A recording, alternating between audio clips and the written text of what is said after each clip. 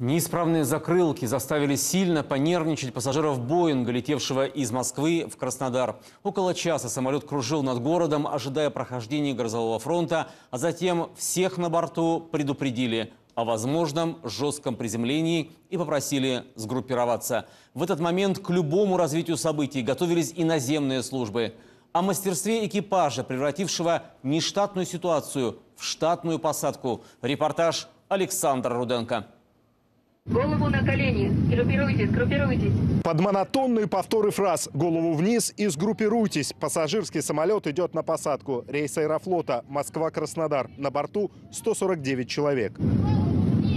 Больше часа они кружили над Краснодаром, вырабатывали топливо перед посадкой. Когда стюардессы стали заглядывать в иллюминаторы и смотреть на крылья, я поняла, что у нас что-то происходит неправильно. У нас не открываются закрылки. И было страшно. Уже когда борт начинает снижение, появляются первые сообщения. У самолета проблемы с закрылками. В какой-то момент нам объявляют, что самолет сейчас приземляться не будет, и мы готовимся к аварийной посадке. Позже мы начали одевать куртки, потому что готовились к тому, что мы будем высаживаться, возможно, с надувных трапов, как нас предупредили.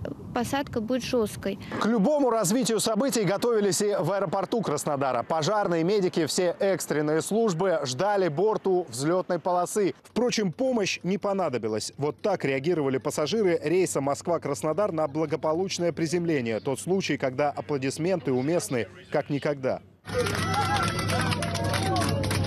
Сегодняшний полет не понравился.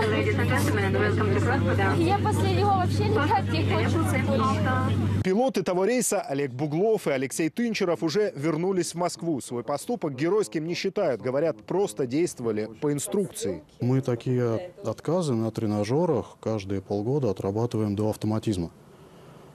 И могу сейчас сказать с уверенностью, что на тренажере это дело сложнее.